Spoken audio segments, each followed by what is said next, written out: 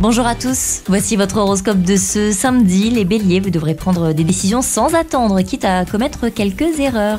Taureau, n'attendez pas d'être épuisé pour prendre un petit peu de temps pour vous.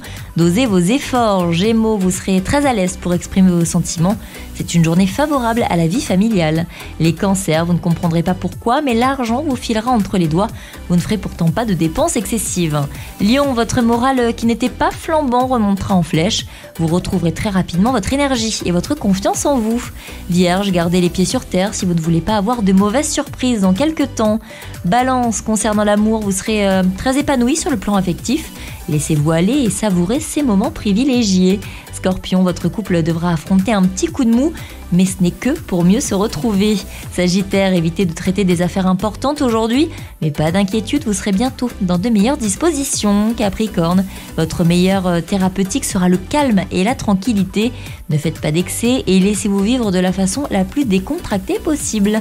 Verseau, ami Verseau, vous avez pris euh, du temps pour vous dernièrement et vous récolterez désormais le fruit de ces efforts. Et puis enfin, cher poisson, les choses matérielles ne sont que matérielles. Ne priorisez pas ces choses, privilégiez plutôt votre temps et vos expériences. Je vous souhaite à tous une très belle journée et un très bon week-end.